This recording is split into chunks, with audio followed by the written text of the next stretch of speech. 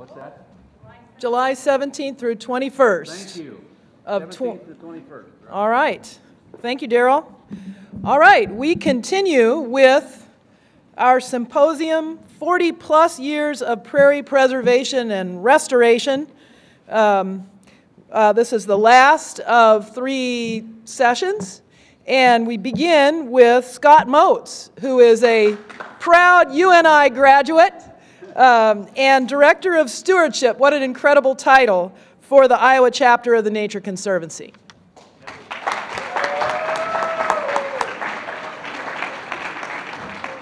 want to roam, you can use this. I think I'm going to try to stay stationary. Okay. Otherwise, I will roam far and wide.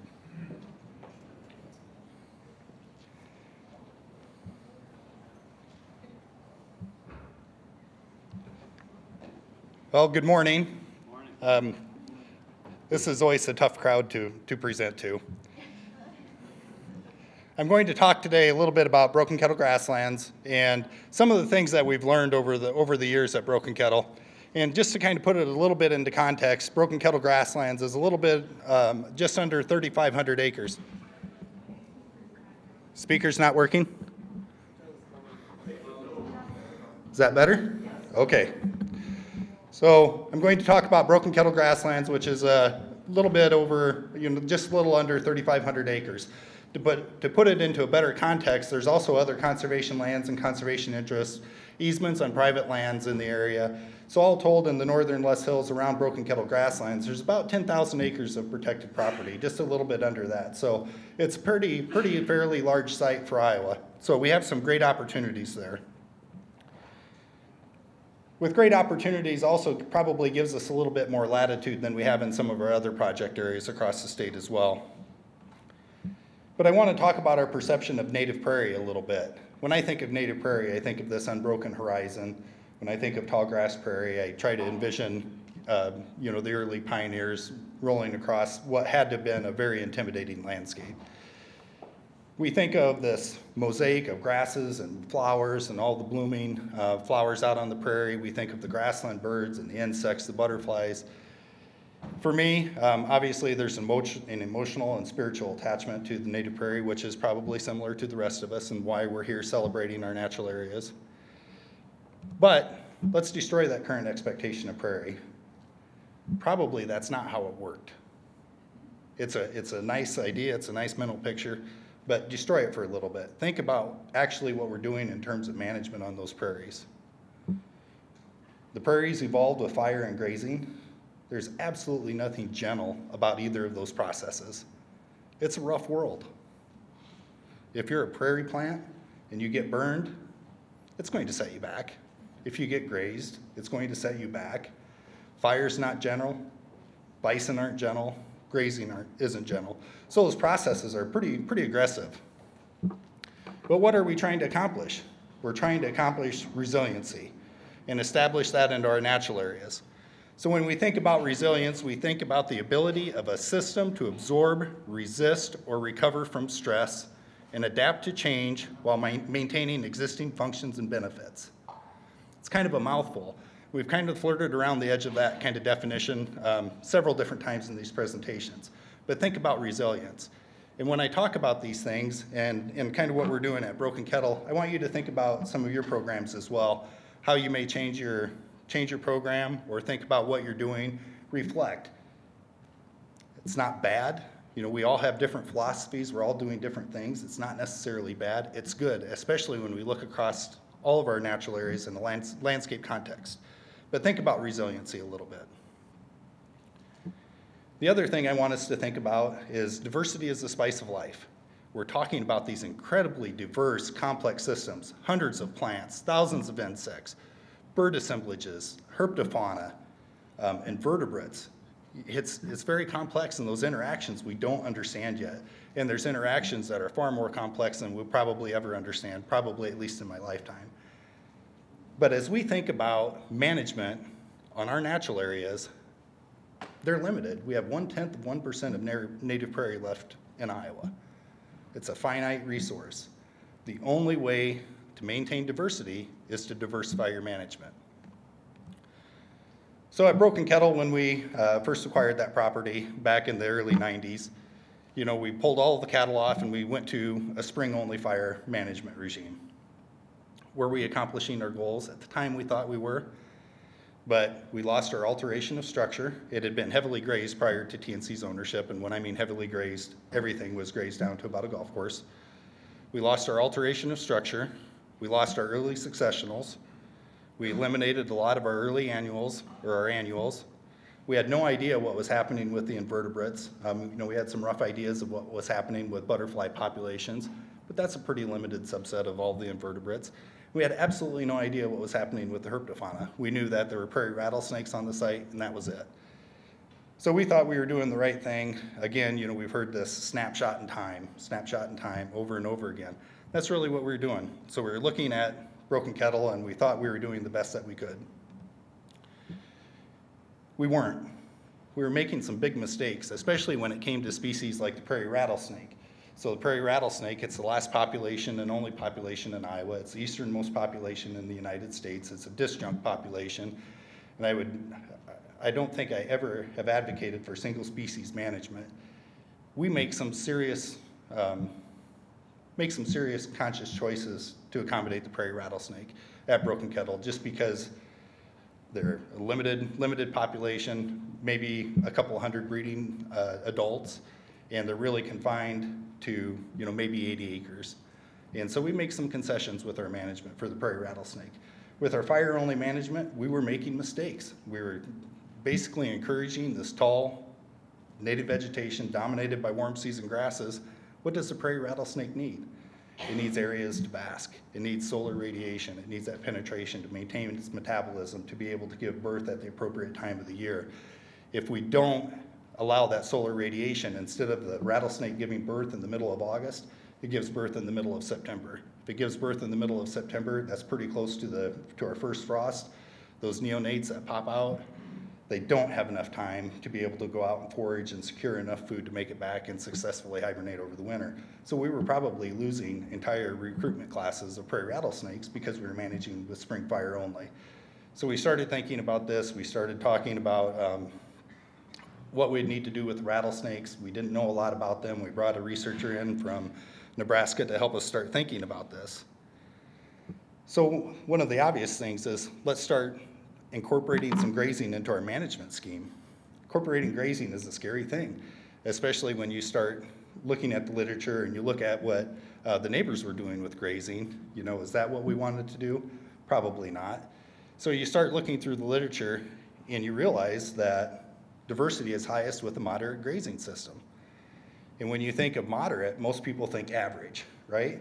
And if you think of average, you think of middle ground. That's not necessarily going to accomplish what we want either. It's not middle ground.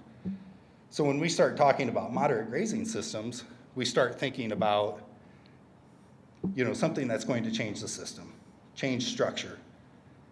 Moderate grazing system you're not going to accomplish with production grazing. You're not going to go to the NRCS and say, hey, we need some help. Can you help us establish a, an appropriate grazing program? That thinking doesn't exist. You know, it hasn't, hasn't really existed. And I look at grazing right now kind of like the way we looked at fire 20, 30 years ago. We're just now starting to dabble with it. But when you start thinking about grazing and moderate grazing system, you're going to hit both ends, right? That's what average is. You're going to have some really tight grazed areas and short grazed areas that are heavily impacted. And then you're going to have areas that are heavily underutilized as well. So you get this dense, rank, thick vegetation as well. You combine all that across the landscape, you get this kind of the average. And so we started kicking around the idea of grazing and incorporating that back into the landscape. And so really it comes back to the philosophy again. What are you trying to do? You're trying to use the processes, fire and grazing, to manage for effects and to create a heterogeneous landscape. And just like fire, you're really looking at timing, intensity, and frequency of grazing. And you can use those animals as your tool, as Pauline indicated earlier. It's one of your tools in your toolbox to accomplish whatever structure variation you want in your prairie. It's a great tool. Conservation grazing doesn't mean those animals have to be on eight months out of the year or nine months out of the year. It doesn't have to be season-long grazing. It can be a two-week grazing if you want, if that accomplishes your goal.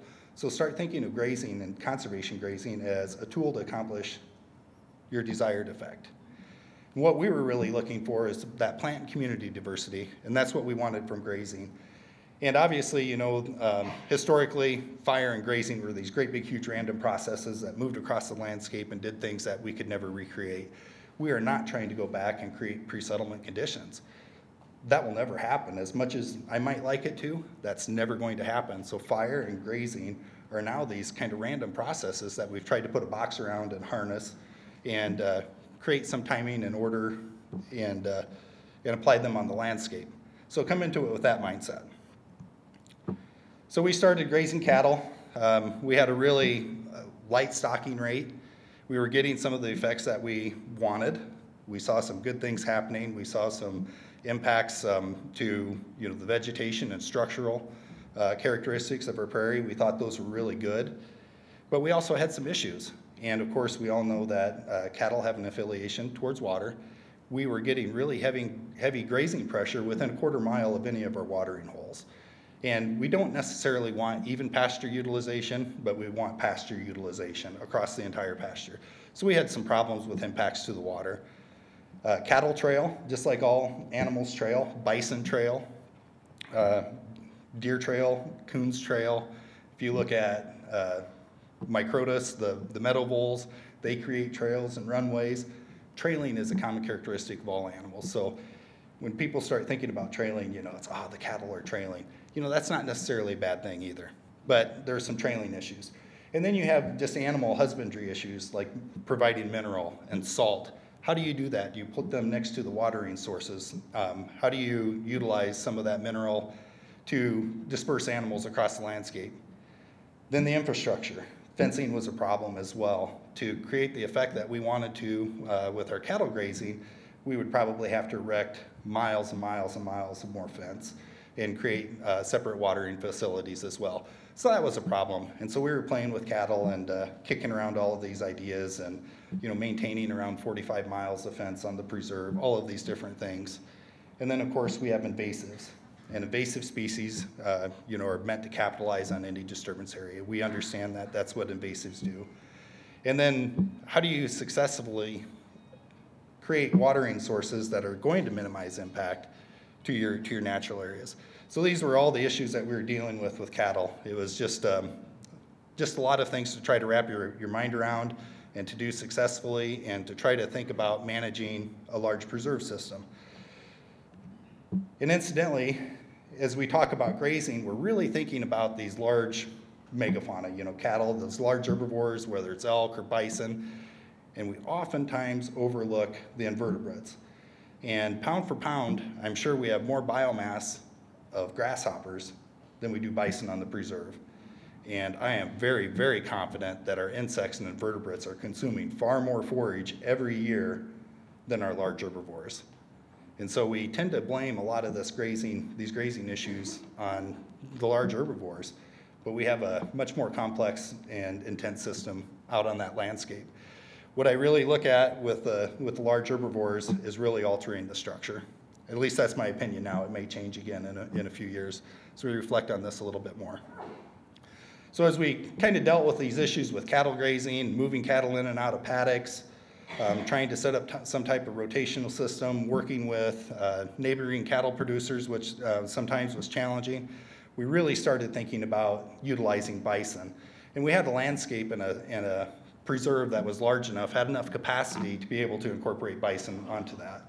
And so we kicked that around for a number of years, and we finally put bison on uh, Broken Kettle in 2008. It started with a small herd of 28 animals. It's now 175 animals, grazing a little over 1,800 acres, and that's going to continue to expand over the next several years to somewhere around about 250 animals for, for the wintering herd. That's our current projections. So as we kind of kicked around the idea of bison and that became a reality, a lot of, a lot of people got really excited about the bison themselves. And really, Broken Kettle is not about the bison. Just like the rest of us, they have a job to do. We're putting them to work. And we have the bison to maintain our prairie. We don't have the prairie to maintain a bison herd. So that bison herd is part of a much larger, more complex system. They create grazing lawns. Bison aren't supposed to do that. Bison are supposed to be gentle on the landscape. They're supposed to walk around in constant movement. That's not reality. I don't think that's the accurate, um, I don't think that's the accurate perception we probably had. The other thing I hear a lot with bison grazing is, you know, high-intensity uh, stocking and adaptive high-intensity management is just like the bison. They came and basically moved like a lawnmower, mowed everything down and left nothing behind them as they moved across the landscape and, and stayed in perpetual motion. I don't think that's accurate. What they're finding now when they look at isotopes of bison bones is that the Iowa bison population was local. They didn't move, they didn't migrate. It was a local, local group of animals. So this group of animals is on a burn unit. They spend, as just as our patch burn grazing models would uh, indicate, they spend 70 to 75% of their time in these grazed areas. When they spend 70 to 75% of their time in these grazed areas, they pound it. They hit it hard. So do you look at that as overgrazing or do you look at it as opportunity? Think about the diversity of plants and animals that we have on our grasslands, on our systems. If everything is the same, does that provide opportunity? Of course, the answer is no. We know that from just basic ecology, that everything has a niche, and every niche means that everything needs something a little bit different. And so that's what we're trying to do with our bison grazing. And it's opportunity. It's not overgrazing. I look at this as opportunity. The bison are doing exactly what we want them to do. So when we look at Broken Kettle in general over the last 20 years, what have we learned? There's some things that jump out that are pretty interesting. The burned only plots had more woody vegetation than the burned and grazing plots. Okay, so that would indicate that we want, if woody vegetation is a problem in our prairies, that we probably want some kind of grazing component in there. And there's also a lower percentage of forbs in our burned only plots versus our burned and grazing plots. So we want to be able to incorporate grazing to maintain that biodiversity. With that, we also do have more exotics. There's about 33% more exotics that show up in our, in our grazing pastures than in our burned only pastures or our controls where um, we're, we're not doing anything at all. Is that a problem? It's something we have to deal with, something we have to prepare for. It could be thistles, for instance, that are going to come in and colonize disturbed areas. Right now, our big weed is crown vetch. That's a killer. And so we have to accommodate those things. Are we prepared in our management plan to be able to deal with them? That's the big question. The other thing that was really neat is it didn't decrease uh, the native biodiversity. And so even though we have more exotics, the diversity didn't increase. The abundance decreased in some places, but not the diversity. And then the one big one that we, we dealt with um, for quite a few years is leafy spurge out in the northern Sills. And we've used uh, biocontrol is what we ended up going with, and we've had a 65% stem reduction in leafy spurge. And so I, I think the take home point here is if you're going to graze, expect more exotics, expect more invasives, but also plan for them. You know they're coming, plan. As I mentioned earlier, I think one of the, the greatest benefits of a large herbivore grazing on the landscape is to create structural diversity, structural change. And so when we start looking at grassland birds, we know again that not all grassland birds want the same thing. I think Carl Kurtz said yesterday in one of his presentations that um, there were some birds that just weren't present because they didn't, it wasn't the right structure um, for, for his property, and that's great. If we look at the, the range of conditions that these birds need, we have some that are uh, able to colonize immediately post-fire, things like killdeer, Vesper sparrows, they like this very short vegetation. They come in immediately post-fire, and when I mean immediately post-fire, it's, it's immediate. But we also have things like the sedge wren, Henslow sparrows that really need this dense rank vegetation. Our job as the Nature Conservancy is to, to try to provide habitat for all of this suite of grassland birds. It's a tough thing to do, and because we have a larger landscape, we have the opportunity to be able to do that. So some of the things that jumped out out of this bird research is that the meadowlarks were greatest in, abundance in the burned and grazed plots and most abundant in the second and the third year after the fire. So a first year post-fire and the fourth year post-fire, the meadowlarks weren't as abundant. But the second and third years, that was what they keyed in on. Lark sparrows and cowbirds were more abundant in the burned-only plots, and the grasshopper sparrow was most abundant in the grazed-only plots. Overall, the results found that we had pretty diverse habitats for the whole suite of grassland birds, and I was really excited to hear that. You know, as a manager, you wonder if you're always doing the right thing, and uh, this was a little bit of validation, so I was excited about that.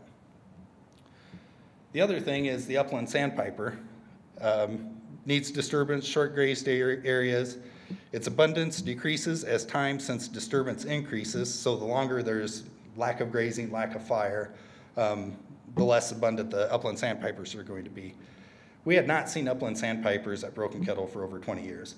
So upland sandpiper, it's not a composition um, specific bird. You know, what it's really looking for is structure. And when we acquired the property as the Nature Conservancy, we thought we were doing the right thing, pulled all the cattle off, upland sandpiper disappeared. So the upland sandpiper usually comes back to northwest Iowa between April 24th and 26th every year. We, uh, we don't put our cattle on the preserve until May 15th, and so, you know, there's a little disconnect there. So the upland sandpiper dis- disappeared, and, you know, we're a conservation group doing good things. Kind of raised, raised my eyebrows a little bit. We put the bison back on the landscape, and last year, on July 1st, 2014, we had an upland sandpiper back on the preserve. I've been waiting for that for literally like 15 years. You know, is this validation? Are we heading in the right direction? And again, it's not a species composition thing. It doesn't need really rich, um, diverse prairie. It needs a structure. You know, you'll find them out in bluegrass pastures. You might find them in grass waterways and crop fields. But we didn't have the structure at Broken Kettle for upland sandpipers. And then Dan Smith uh, was out earlier this year and um, documented another upland sandpiper again on the preserve. So we're doing some of the right things. That's exciting for me. It means that, at least to me, that we're trending in the right direction. And again, you know, we've talked about snapshots, snapshots, snapshots. These problems and issues that we deal with on our native prairies hadn't, they didn't develop overnight. They're not going to disappear overnight. What we want to do is trend in the right direction. So one of the other things that we've started seeing with bison and wallowing and creating these seasonal depressions is the spadefoot toad. And the spadefoot toad is um, a species that's not real common in Iowa. It's found throughout the Loess Hills. And we started, lo and behold, getting spadefoot toads colonizing back into these depressions. So that's exciting, right? We're doing the right things. But not only is the spadefoot toad important, but think about all the other little herpetofauna, the skinks that are out there. Think about basking areas for snakes, other toad species that are out there, frog species. It's a complex system. The butterflies and invertebrates at Broken Kettle is another thing that has been studied. We burn on a two to seven year fire return interval depending on our objectives, but what we found is butterfly populations increase both in diversity and abundance till about the year seven, seven years since fire. And at that point, it stagnates, the habitat stagnates, the abundance, butterfly abundance and butterfly diversity starts decreasing. And so that's kind of what we're basing our fire return interval on, is that seven year at the maximum. So we can maintain some butterfly diversity out there as well. The other thing with incorporating grazing is that we've also ex, um, extended our fire return interval. Those areas that the bison are in right now, uh, in our spring burn units, they're pounding those. There's absolutely no way we could burn them next year if we wanted to. Probably won't be able to burn them in two years because there's just no fuel loading there. The bison have, have um, removed all that. Monarchs, there's a hot buzz topic about monarchs all over right now and planting milkweeds. The monarchs were more abundant in the grazed only areas, twice, about twice as abundant than any, any place else. In the regal fritillary, which is kind of one of our big butterflies, it's maybe one of our most common butterflies out of Broken Kettle, was the highest in the grazed only or the burned only patches. Small mammals elicit the same responses, of course. You know, we have a diverse small mammal community from mice to shrews to voles out there. And the other thing that pops up at Broken Kettle occasionally is the Franklin's ground squirrel. I don't know where there's Franklin ground squirrels anywhere left in the state. And so our grazing program and fire program is creating habitat for Franklin's ground squirrels as well. So are our systems resilient? I would say our systems in Iowa are extremely resilient. If they weren't resilient, we still wouldn't have them. In this landscape, with the spraying, the plowing, the grazing, if we didn't have resilient systems, they would be gone. But think about how you can maintain that resiliency and incorporate resiliency into your management programs in light of things like climate change, in light of uh, changing land use patterns, and in light of changing hydrological patterns in the state. So I think my big question to you is I've shared some of the things that we've learned at Broken Kettle, but what do you want Iowa's landscape to look like? Collectively, what do we want Iowa's landscape to look like? Do we want it to be a mosaic of protected lands and structure? Pauline mentioned even the degraded areas are super important. They don't always have to be degraded. They're not static. How neat would it be to restore a bunch of small little prairie areas all across the state and allow gene flow to move, to be able to take Lisa Schulte Moore's strip plantings that are low diversity and allow recruitment from maybe more conservative species to come into there. Is it going to be easy? Absolutely not. None of this work is easy. None of the work is cheap.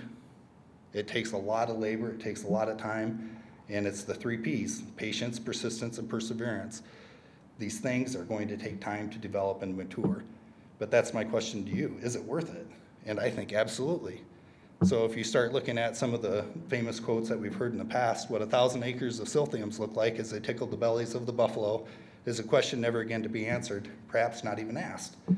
And I think it would kill me if we didn't ask that question and try to answer it collectively as a, as a group. And I think we do have a lot of momentum, and I think that things are much better now than they were 20 years ago or 30 years ago. And the meadowlark is our bird of promise. It sings, Friends, I whistle for the buffalo. And so with that, um, I think we hold on to that promise and move forward collectively and onward and upward. Thank you.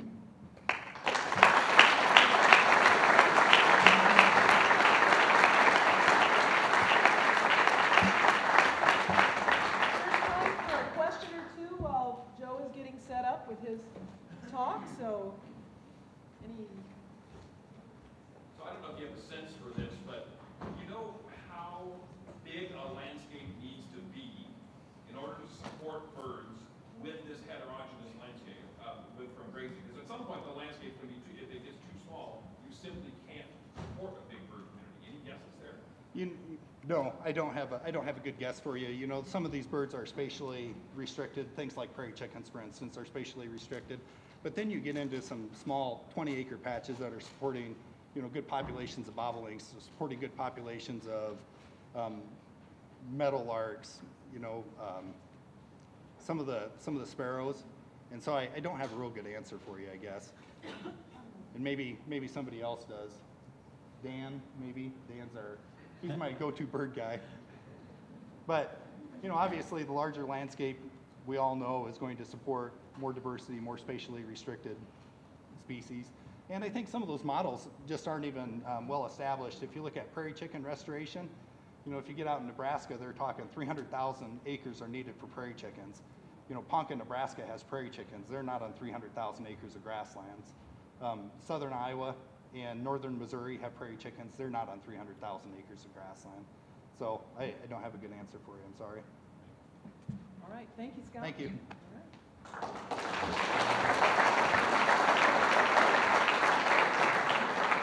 Our next speaker is Joe McGovern with the Iowa Natural Heritage Foundation. So we have the two big land trusts here uh, representing a lot of acres in Iowa.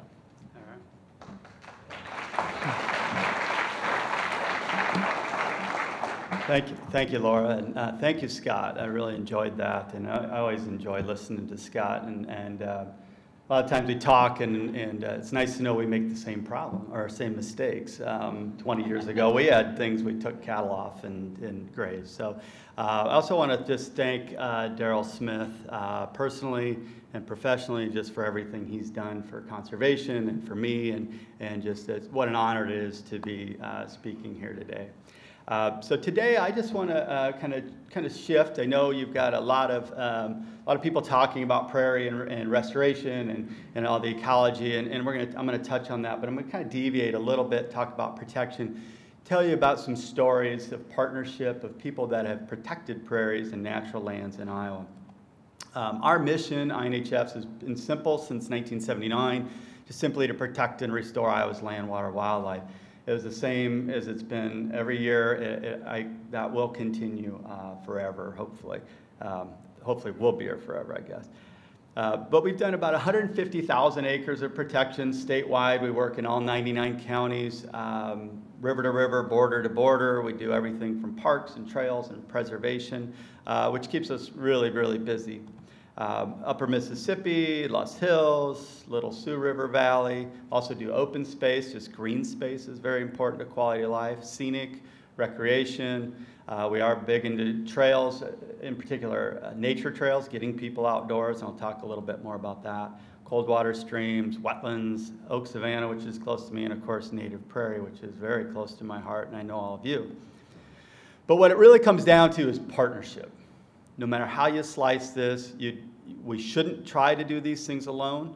It would not be effective. We have to do these things together. And the more we can do them together, the better we'll be, right? It's that simple. So just like prairie ecology, bigger is better, all this, all the niches and, and everyone doing it together. It's so critical that in the conservation world, we're not concerned with who did what and you belong to this group or that group. It's more important that we get it done. We have time uh, to get it done, and that's what we need to do. So here's what I was thinking about over the last, mm, I don't know, month or so you know, what does Prairie need? What do I, what, what does Joe McGovern think Prairie needs, I guess, or INHF? And so it kind of came down to this, protect, restore, buffer, and buffer in the sense of just eliminating the negatives maybe as best we can, expand, and then connect. So you could apply this to all natural areas.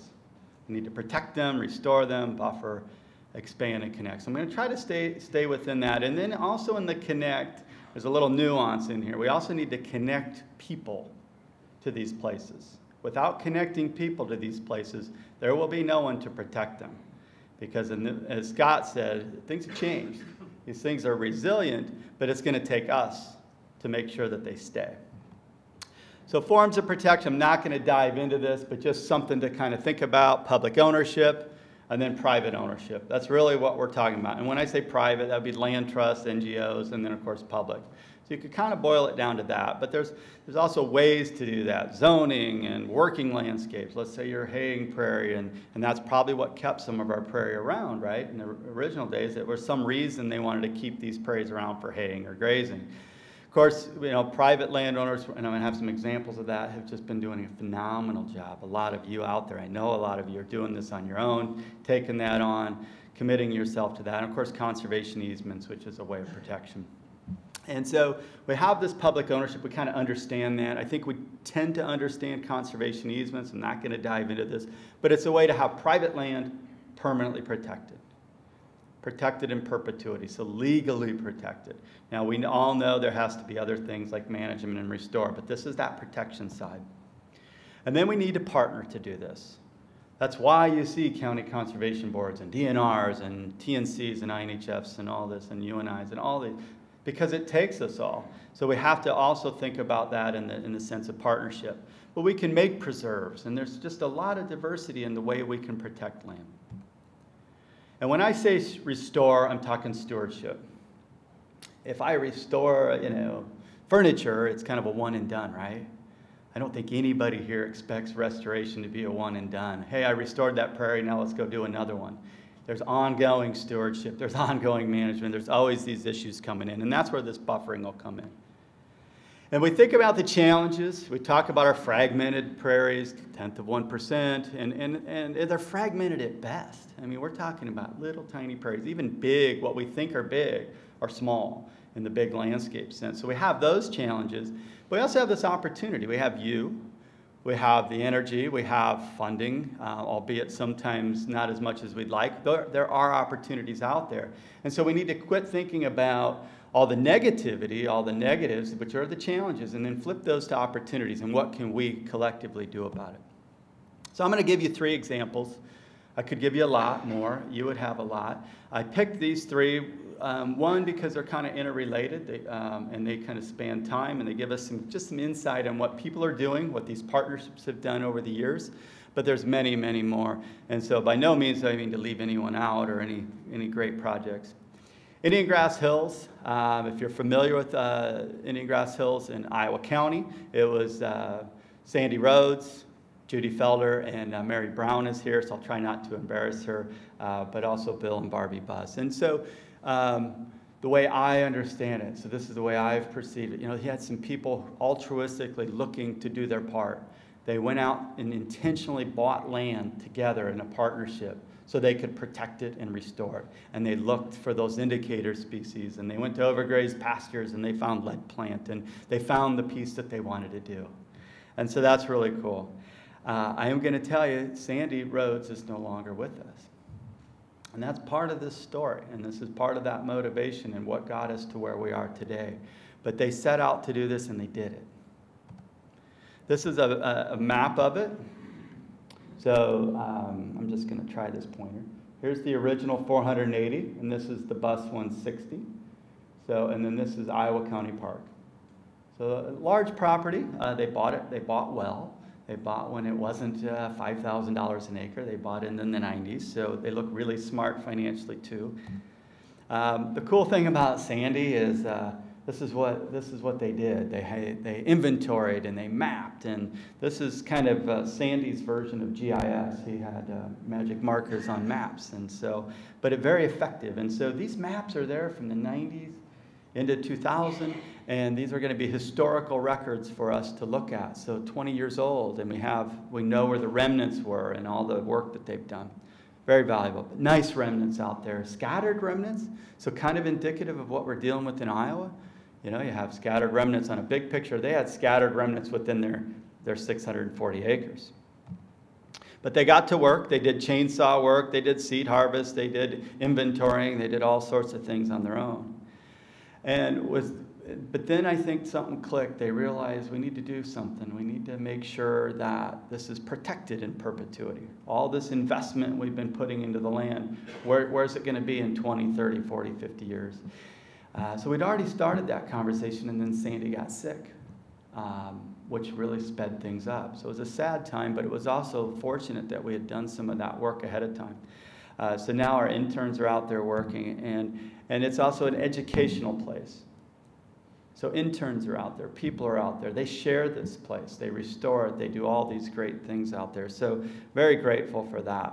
We've also expanded it. So we talked about the protecting and the restoring and the buffering, and this is a new acquisition that INHF purchased to make this now 750 acres. And so kind of just just kind of framing this, you know, Judy, Sandy, Mary, Bill, and Barbie Bus bought this, protected it while they owned it. Uh, countless volunteers, friends, people coming out to enjoy it. They donated a conservation easement in perpetuity to the Iowa DNR. Then they donated the property with the reserve life estate, which is a protection tool, to INHF. So the fee title is INHF's, but they have a reserve life estate, so it's their, theirs during their lifetime. So it's a really neat partnership. They, they spend a ton of work out there, time, but they're actively restoring, educating people, and they're sharing it. And so then we also have that buffering and expansion. And it's a really, really neat story. So if you haven't been to Indian Grass Hills, I highly encourage you. They're very open, welcoming. Um, Mary is here. I won't embarrass her again, but um, really neat, neat model. So one, one way of us partnering all of us together. And there's that acquisition, and there's the Iowa County Park. So if you kind of look at this in this bigger picture of this public recreation area here, Indian Grass Hills, and then this has been expanded. Actually, this is owned by a prairie enthusiast as well. So a lot going on. Another example of a project is Marshall County. Uh, and correct me if I'm wrong, Daryl, but you were on the preserves board when Marietta Sand Prairie was dedicated, 85-ish, 6, something, something like that. So um, the original, um, apologize, the original Sand Prairie right here was 17 acres. And I had a conversation with Andy Swanson, if you know Andy, a prairie enthusiast, and he knew the tenant farmer of this um, sand ground. That's a sand blowout there, right there, if you can see that. Um, I'll use this cursor if I can. That isn't going to go. So that sand ground.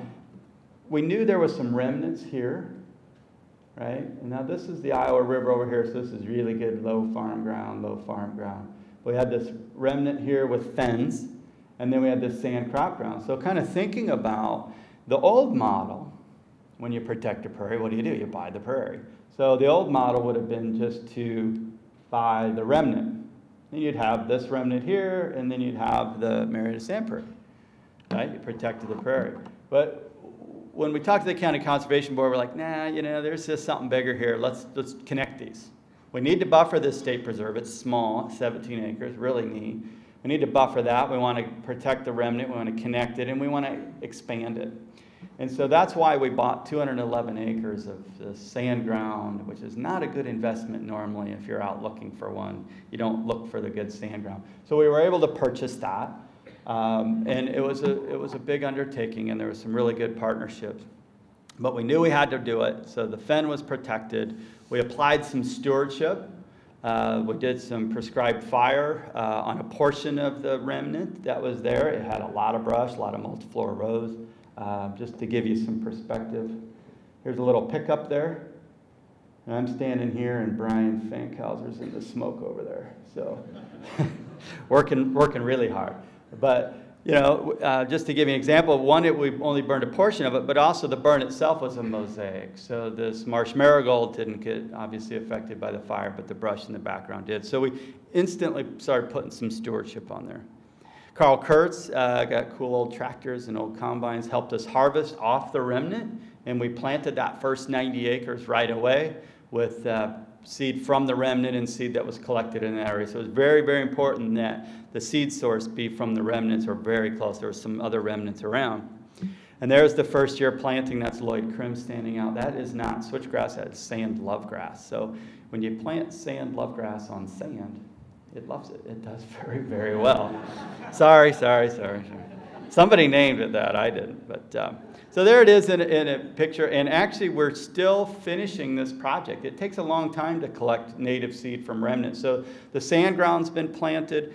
Uh, the area north of the remnant's been planted in that where I call low crop ground, that 55 acres. That's going to be planted this fall. We've been hand collecting seed from nearby remnants. We've got a public seed harvest this fall. So that project will be finished. We're going to have a kind of a big picture, uh, 240 some acres of, of uh, prairie that one buffers the state preserve, also protected that, and, and it's neat. So there's other opportunities in this area. But that's just an example of kind of a county system and public partnership. Kind of wrapping up, we had a really, really wide variety of partners. How many times can you think about Sierra Club and Pheasants Forever partnering? That's pretty cool. And now that's getting more and more common. So Iowa Prairie Network, Sierra Club, County Conservation Board, Native Plant Site, everybody was in on this. We had a ton of great partners. And it scored very high in REAP, Resource Enhancement and Protection. So it scored, actually scored number one in the REAP and was able to finish off the project. Uh, but it was high risk and high reward, and uh, we're going to, we had public seed harvest, we're going to continue to do that. So switching now to Kossuth County, um, some virgin prairie, uh, Bernau prairie, and Wilden prairie. I'll give you some examples of those. And if you, if you um, think about how scattered our prairies are, and then to think you could take a couple sections in Kossuth County and there's going to be three remnants in it, all over 80 acres, that's pretty rare. Pretty almost seems random. So it's pretty neat that they were that close together. Um, but also note that this spans about 12 to 15 years from start to finish when we to do some protection. So we also have to start thinking long term, as Scott said. We got to kind of keep doing good work, but have our trajectory set out there long into the future. So, so you're not going to necessarily just whoop in and say, okay, I'm going to protect and restore and do all these things now. Uh, you got to be patient stay open to possibilities. So I'm going to talk about this Wilden, Iowa Wilden South as my example. Um, there's the Bernau Prairie, and I'll get back to that. There's the Wilden Prairie. This is what it looked like when we went to visit it.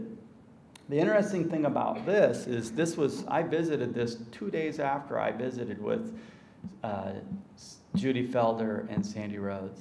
And they talked about how their remnants were so overgrazed and it was this tall and how it's come back. So two days later, I'm up in Kossuth County and I'm looking at the tallest thing as a cow pie. and thinking, this might come back. I don't think I would have said that two days or three days before my visit.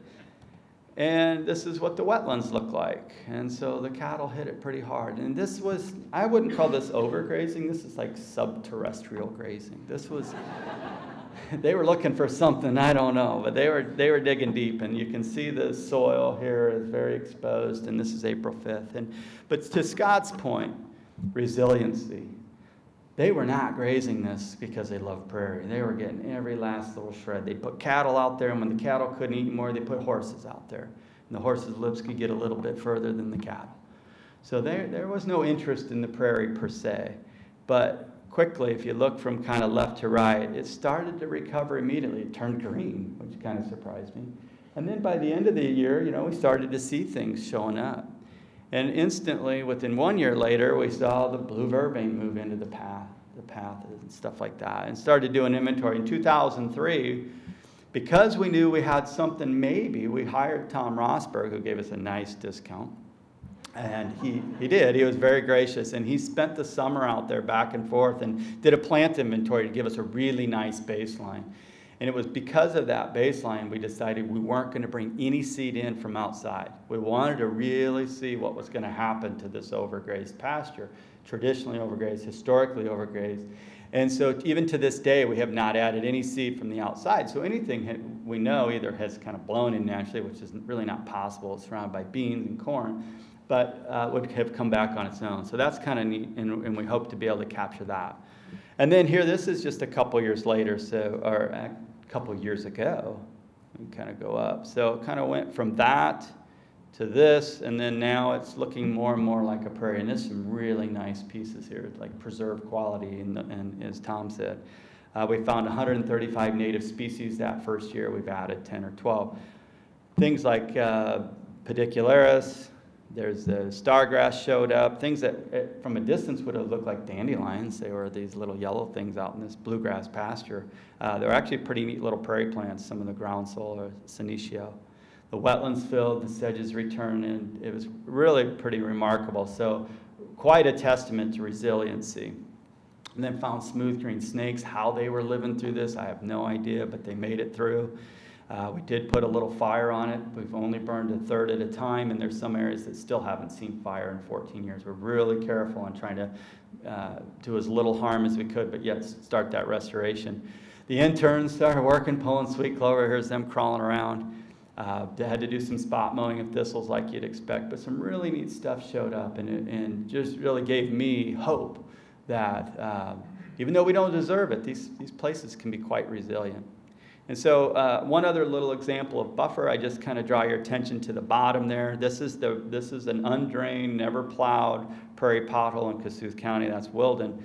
And if you look on the left there, that's a brand new fence. And if you look to the right, you see some interns again. Notice the theme here, working really hard to remove the old fence. This was an old road that went through. And to the left, where you see the new fence, there's row crop over there. This is an example what I would say is uh, buffering. We had a virgin prairie, but yet that boom would just kind of hang over a little bit too far when they'd spray, and sometimes they'd turn around. And so we were getting a negative impact from a neighbor, I don't think intentionally, but there wasn't this hard boundary. So we put in this new fence, removed the old fence, and literally recaptured about two and a half acres of prairie. And so that's critically important sometimes, is just to remove the negative. So sometimes we think buffering, you mean you have to own more land or do more. That's just simply kind of removing some of those negatives. So just a simple example. And this is just kind of the overall of Wilden. Now I'm going to move to Bernau real quick and kind of wrap up. But uh, Bernau Prairie has long been on people's list of protection. Uh, there's accounts of Dean Roosa being on there. I know they found uh, prairie fringed orchid way back. There have been all these attempts to try to protect it. Um, and just fortunate enough to be able to have some easements, and I'll get into that detail. Bernau Prairie is very diverse botanically, an amazing and amazing place. Um, has, has had a lot of fire though, has had a lot of haying, so it does have some issues as, as Scott was mentioning, it's kind of had the same management over the last 20, 30 years. And I want to talk about protection in a little bit different way. This is four generations of the Bernau family. That's Roland there uh, in the white shirt, and that's Gary Bernau in the red. This is about 15, 20 years ago, and that's grandsons and great grandsons. Now, if it stayed like this, Bernau Prairie would have been protected forever. But we all know it probably wasn't going to stay like this. And when Roland passed away, Gary realized very quickly he had to do something because he was in his upper 70s, still alive, and really liked cigarettes. So he knew his time may be limited, and those are his words. So he just said, I got to do something, and I want to get this thing protected right away. And so um, that's a really neat story because this, we couldn't afford it. This is the super height of, of land prices. Land was going eight, nine, ten thousand dollars an acre. Even though this is native prairie, it could be easily have been plowed, no question. Plowed, maybe even drained to some extent, and you just have to mitigate. So we were really worried that, that with the high commodity prices, high land prices, this is at risk, and so was Gary. So he sold a portion because we, INHF, just could not afford those kind of prices. Swanson family actually bought the 72 acres and instantly donated a conservation easement. So that was really cool. Big, big, big, big gift. And then Gary Bernau sold an easement on his 52 acres. And part of this story, too, is that he owned a 40 and he owned a 20. So you kind of see that. So this is the protection scheme. This is now the native prairie is permanently protected with a conservation easement, but it's privately owned. But our big concern was he's like, oh, and by the way, I'm going to plant CRP. Now, if you're like me, I'm like, oh, yeah, don't do that, because what are you going to plant there, and where are you going to get your seed, and where's it going to come from? And, and Gary's like, well, let's harvest off our prairie. Well, if you've worked at the NRCS, that can be tricky because you got to have tested seed and all that. So that was kind of a neat thing. He was willing to um, get his old combine out. And I can tell you this is probably one of the few north central Iowa combines that was harvesting prairie that year. Most was busy on their corn and beans. But Gary did it. Uh, thank John Judson. He came up and he showed Gary how to change things and get it so it would harvest prairie. And it's just a bean head, I think. Yeah. And so Gary ran his combine through his prairie to get all this seed. And we put it into John's wagon. And John hauled it home and we did some cleaning. There's John showing Gary kind of how to do these things. So here's this prairie protected, and now we're going to expand it with the seed from the remnant, which is really cool. And I got to tell you, if you if you ever combine native prairie, it's just a really cool thing. And then to know that you're going to plant it right next is even better. And so we cleaned it down and we tested it. We got it tested and it passed NRCS. We went on on a really cold day in the fall and we planted it. This is John's equipment. And we had hand collected and we've done all these kind of cool things. So um, a lot of fun, but also kind of moving that along. And I can tell you it's green now. So where there had been corn and beans for a long, long time, there's now native prairie right next to, or planting right next to native prairie and expansion. So kind of putting all this together, thinking about our protecting our remaining prairies. Now you can do this with oak savannas and woodlands, and so I don't mean to just say prairies, but all of our natural areas. We, we have a chance. We have an opportunity to protect them. I really thought it was awesome what Scott said, how cool it'd be to just protect everything we can and, and have these connections, these mosaics. But we need to do the restoration. We all know that. We need to try to buffer them. We need to expand, and if we're going to do that with prairies, please use native seed from the remnant and connect thinking about taking from one prairie to the next, connecting Neal Smith to Chichaqua, and to south of Ames, and these long corridors. Those kind of visions are what we really need to be thinking about. And also connecting people to these prairies, to our natural areas. It's so critical. And so it's so refreshing to see generations, new generations come into what we're trying to do. And I want to give a shout out to interns. So if you've worked or cut out a prairie, if you're an intern, please raise your hand. CCI, come on, I know you guys. Raise your hands.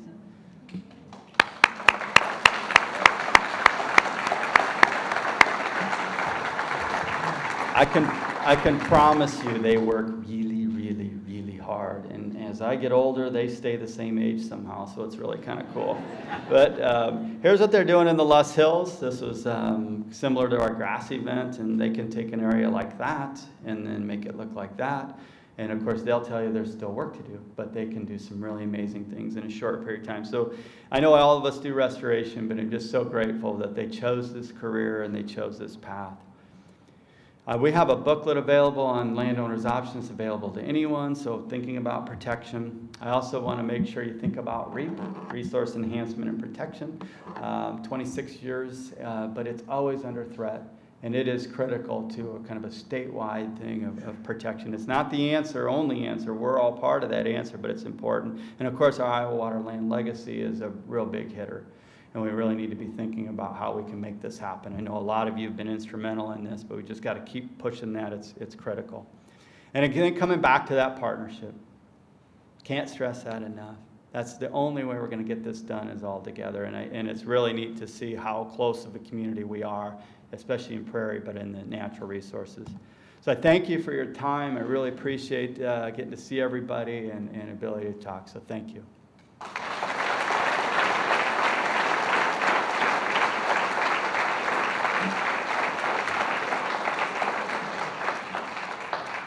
I'm on time. Thank you so much. Yes, you are on time. Where is our next speaker? There we go.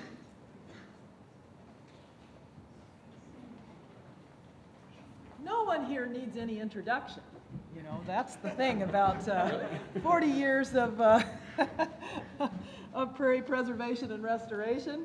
We all know one another, and uh, uh, none more so than Tom Rosburg, professor of biology at Drake University. All right, thank you. Get this going here.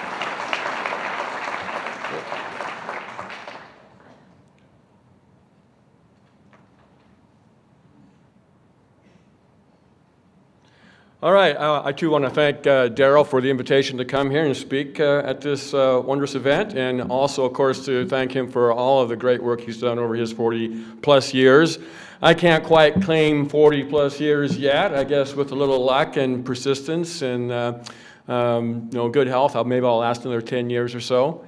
Uh, what I'd like to do is I thought about you know how to approach this is just what I can do best probably, I guess, in terms of how I can make a contribution to this would be to look at sort of a review um, of some of the research that I've done, because that's what I mainly do, um, and probably try to take some of the lessons, or maybe I should call that food for thought, some of the ideas, some of the opinions that have kind of been informed by that work, and throw them out there uh, for you all to think about. That's the plan. Uh, when I think about what I do, uh, 30 years or so of field work, well, uh, I spent about half my time, of course, teaching. So that already takes away a large chunk of time. And the rest of the time, though, uh, is sort of divided up between those yellow boxes there. So I've, I've got sort of field time, but it's in, in different ways. It's ways of uh, seeing the field and experiencing it. Uh, research, of course, is a big part of that. And here is just a picture of me out doing some structural veg measurements on a re, uh, reconstructed prairie. Uh, activism, though, I would argue that's one of the things that takes me out to the field quite a bit. I spent a lot of time uh, with the Drake Prairie Rescue Program. Um, we've worked on, since 2003, we've worked on uh, sites in roughly 22 counties. And then naturalist kinds of activities. I also spend a lot of my time engaged in these sorts of things, uh, giving programs, giving talks, leading hikes, uh, over the last 30 years, probably over 250 uh, talks or hikes or presentations. And that all gets me out, of course, and seeing the field. Here's a quick couple pictures of the uh, uh, Rosburg Warriors. Uh, now that is a brush pile right there, let me tell you. That's a brush pile. That's how we like to see cedar, right? Uh, quick shot of uh, a couple of Drake students up on uh, Richter Prep in Chickasaw County doing burn. Uh, naturalist activities. I spent three years, uh, parts of three field seasons, engaged in the revision of this uh, wetland book, this fine book by Cy Runkel and Dean Roosa. Uh, so a lot of time spent there. I spent a lot of time, it seems like, giving sedge workshops. Uh, but again, the point of this is all that it, get, it gets me out in the field. Sometimes I'm doing quantitative measurements, doing re research. Sometimes I'm doing qualitative stuff. I want to focus, though, again on, on the the scientific work uh, for the most part here. And over the last 30 years, over 85 different projects. These range from really short-term, one growing season kind of floristic surveys to multi-year uh, projects. The I-35 project I was involved with went for se uh, seven years. And I've, I've, kind of divided them up into two groups. Uh, some of the research is mainly focused more on ecological theory kinds of questions, uh, these are usually addressed with very quantitative kinds of methods where I really uh, get into the nitty gritty of measuring the abundance of, of, of plants. Uh, other work is more towards ecological applications and, and, and how we can use this information to do management. I've put a, a quick map together there. These are all sites where, I've, where I have done field re research um, across Iowa and other parts of uh, adjoining states. And if I just for a second throw in the places where I've done uh, sort of naturalist activities, a lot of field work in terms of going out and meeting people and doing work in that regard and, and doing prairie rescue. Um, you can see that I think I can argue that I've spent a lot of my time uh, looking at a lot of vegetation in Iowa.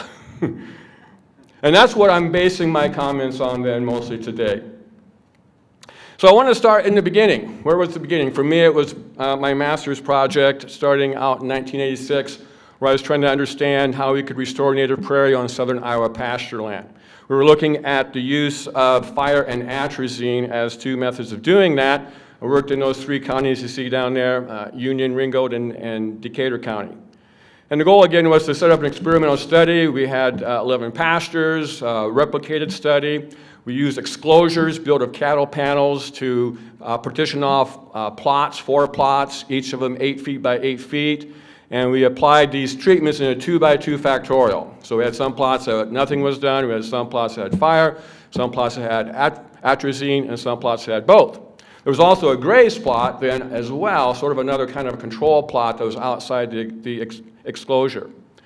Measured the abundance of plants, did the analysis, and here's a quick summary of what we found. Atrazine, by the way, uh, is or can be very beneficial in trying to restore prairie.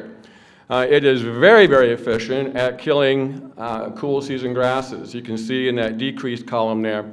Uh, let me just highlight some of the most pertinent things.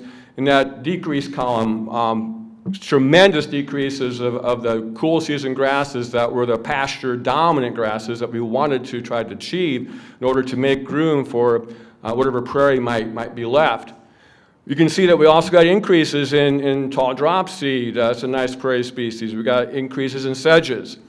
Most importantly, though, in that red box there is uh, an increase in C4. There's a, C, a very strong C4 response. Now, these are C4 grasses, however, that you don't necessarily want to see a whole lot of. These are C4 ruderal species for the most part there, except for that uh, panic grass there. Uh, but nonetheless, it was still a C4 response, uh, meaning that we were changing the pasture from a cool season dominated system to a C4 type of system. In terms of fire, uh, not nearly as much in terms of the effects. Atrazine had a really strong punch. Fire had a more moderate uh, punch, you might say. It, it didn't create these large differences right, right off the bat. But we did see some decreases in Kentucky bluegrass from fire and smooth brome. The smooth brome uh, decrease was uh, pretty clearly a result of the interaction between fire and a, a, a drought year. Uh, and we were getting some increases uh, in C4 species, as you can see, again, mainly uh, C4 annual grasses, though. One of the most uh, interesting things, though, that we learned, and so some of this was very important in terms of how to restore prairie, but I think even more enlightening to me at that point in my career, very early career, of course, was I really discovered that southern Iowa really has uh, a large amount of potential prairie. You just don't see it. Uh, I coined the term invisible prairie to sort of describe this, this um, remnant community out on these pasture lands that for the most part is being grazed off, of course, and you don't see it because you don't see large, tall plants. There were prairie remnants on seven of those 11 pastures that, that we looked at. And if I put up the, uh, and this is a map showing locations of uh, known prairie remnants across the state, and you can see that you know, southern Iowa kind of is missing some. There's, they don't seem to be quite as abundant down there in the southern two-tier counties there. And if you throw up the locations of Iowa's state preserves that have a strong prairie component and, and do a good job of preserving prairie, again, you see, oh, there's nothing down there in southern Iowa. Um, where is the prairie from southern Iowa? Well, it's, it's there again, but it's in this sort of invisible form. You have to go out there and you really have to look for it. Or you have to do something to, of course, remove the cattle and, and let the uh, prairie plants grow up. Because uh, they're out there. We saw lots of pastures with big blue stem and sideoats grama and little blue stem and Indian grass and eastern gamagrass. And as I said, tall dropseed was one of the, one of the more common ones.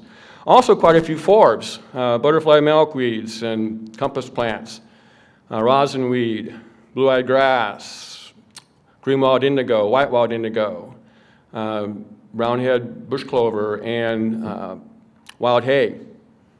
And, and interesting enough, just to um, go back a little bit to the treatments, Atrazine should have, in theory, uh, killed maybe perhaps some of these forbs, but we didn't see that happening. Atrazine, by the way, is, is, was selected because atrazine, of course, does not have any really uh, effect on warm season grass. Corn is a warm season grass.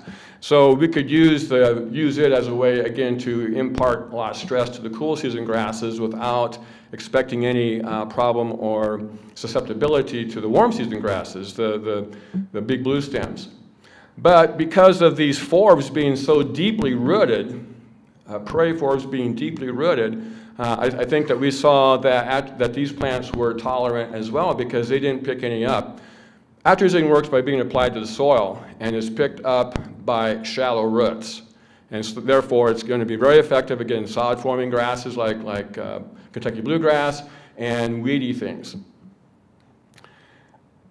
So this recognition of invisible prairie in southern Iowa early on uh, kind of came back in a way about 10 years later when I did this big project for Iowa and Missouri TNC, looking for and trying to map and evaluate uh, prairie remnants all throughout this Grand River grasslands area that you see marked out here in southern Iowa and northern Missouri. The project areas are, are highlighted there, 40,000 acres roughly in Iowa, 33,000 in Missouri. Now, I was surveying just the areas, though, that had potential to have prairie remnants. So obviously, I was not going to be surveying row crop land, land that's in corn or so soybeans. Also, conservation land was not surveyed because we already knew what was there. That was land that was already known. And then, of course, there were some sites I didn't get access to because this is all pri uh, private land. So what it boiled down to was a lesser amount of land that was looked at, roughly uh, those figures you see there, and those are the approximate number of days I spent in the field hiking over all of this land. If you're going to go out and look for prairie remnants, you have to do it on foot. And so you just simply crisscross, walk back and forth all across these uh, potential sites uh, looking for prairie. And so I, I surveyed about 63 square miles on foot, roughly walking about 1,200 miles. And here's what I was looking for. Again, I was walking on CRP fields, on grazed pastures, on abandoned pastures, anything that had the potential for a prairie. I had to have a definition of prairie, of course, and the TNC didn't give me one, so I had to make up my own.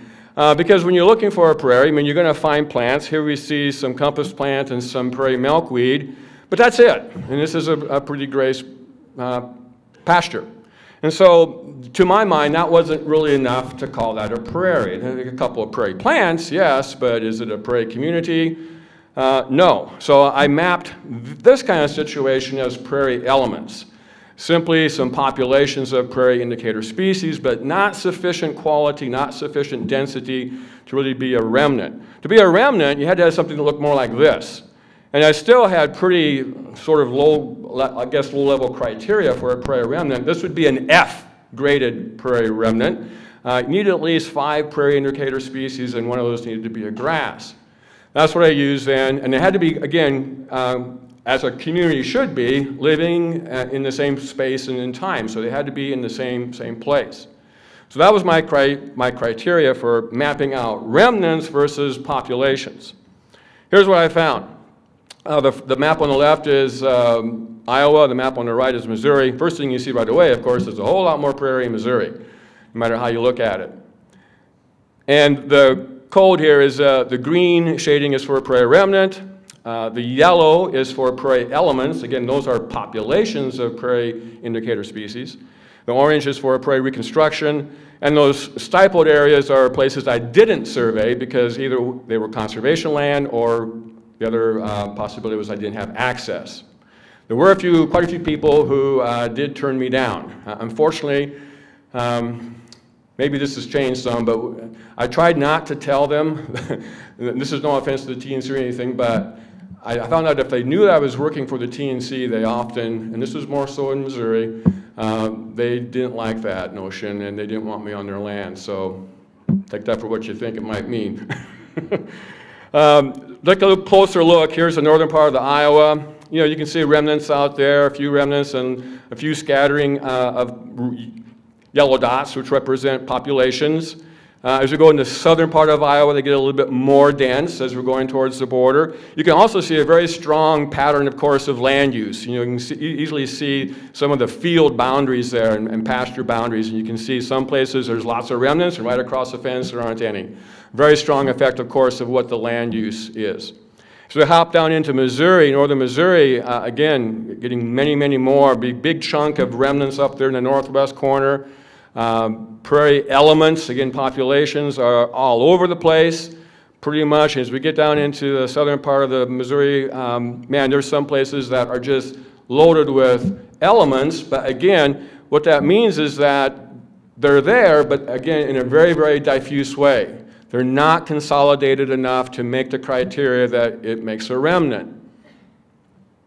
So here's some food for thought, and I'll throw these out at these uh, points here. So prairie remnant characteristics. Here's what we came up with Iowa and, and Missouri. Uh, these are the number of uh, remnants that were mapped. Uh, again, a few more than in, in, in Missouri, and uh, usually many more that were much larger. Uh, total area of remnants, uh, again, about four times higher in Missouri. When you look at the amount of remnants per the amount of area sampled, this is the percentage that was in prairie, and you can see uh, pretty high levels there. And you, when you compare that with the less than one-tenth of 1% that we often use as a quote for Iowa, as a whole, uh, obviously this is a lot higher. And so obviously, again, prairie, that, that percentage, one-tenth of 1%, is for the entire state, but it varies largely across the state. Southern Iowa here and northern Missouri have a lot higher percentage of prairie left on, on the landscape. This just quick looks at the uh, percentage of prairie in different um, qualities graded out from A to, to F. And again, Missouri was a little bit higher there. Number of elements mapped. Again, those are the prairie populations. Uh, six times more of those were mapped down, down in Missouri a quick look at some of the factors that, that I saw that were affecting why were these uh, prairie remnants surviving, and 60%, the top 60% come down to this. Uh, fence line field edges, poor accessibility, low fertility. So places where farmers couldn't get. That's where prairie was sur surviving. A little bit surprising on land use patterns. When we went into this, the TNC and I were thinking that most of these remnants would be on grazed pastures, but it turned out that more than 50% were on CRP land. Prairie was, was somehow surviving on CRP land or coming back on CRP land uh, more than what we expected. So again, some, some lessons from, from these two studies. Uh, depends on how you define prairie, of course. Uh, and that's, uh, you know, you can define it however you want, in a sense. But the way I defined it, uh, there is, and still is, and, and there was evidence during the study of quite a bit of, of prairie survival in, in this part of the land. The landscape down here, again, is southern Iowa drift plain, and so this rolling landscape that doesn't have as much intense uh, use in row, row crops. The pastoral landscape. Uh, we also found in our seed bank study with the uh, Southern Iowa project that I talked about earlier uh, that these remnant plants that are coming up in these pastures when you try to restore a pasture or prairie here are coming from all things that we can see are coming from plants. They're not coming from, from seed. Seed bank studies and, and really uh, intense quadrat surveys on grazed pastures show that those little tiny plants are still there. Uh, they're just little bone, bonsai plants, and when you take the cattle off and you give them opportunity to grow, uh, that's what you see. Again, this pastoral landscape is really prime for protecting prairie. I mean, uh, it's clear, of course, it's not row crops, so row cropping is what destroys prairie. Prairie evolved with grazing, and so grazing is, is a, a, a type of land use that can accommodate the survival. But what we see again is in southern Iowa, what we are seeing, I think, and what I think about this is that there's a large areas of very diffuse prairie. It's not really high quality, of course, it's more degraded, but large areas of very diffuse prairie. Whereas, you know, those prairie preserves that we see in the rest of the state of Iowa, larger sites, uh, there are smaller areas of much more concentrated high quality prairie. So in a sense, uh, two different ways of kind of looking at the quality there. Um, we did see evidence, again, I, I would say that, that, colon, that prairie is colonizing, or able to colonize uh, CRP ground. That's what it appears to be doing uh, from seed, seed sources. And This last comment is what fostered the creation of the Drake Prairie Rescue Program, because I saw so much private land that was in dire need of management as I did these, these uh, prairie remnant sur sur surveys down there. Uh, I just became convinced that something has to happen really quickly on this private land to help uh, save those prairies or they're going to be, be gone. So uh, that was one aspect, I guess, that was sort of good uh, from that project as well. I'm going to jump to um, uh, fire and grazing a little bit. These are things that Scott's already talked about and much that he's said. I'm going to kind of just maybe go over a little bit in some of the same ways. I want to look at this I-35 prairie reconstruction project I was involved with for quite a while uh, in the, in the, uh, and shine a light really on the, the fire part of that. Uh, this was a, a, reconstruction done in Story County uh, near Ames there along I-35. Uh, we want to try to evaluate the, the uh, success of the reconstruction, but we also want to look at the effects of fire and mowing.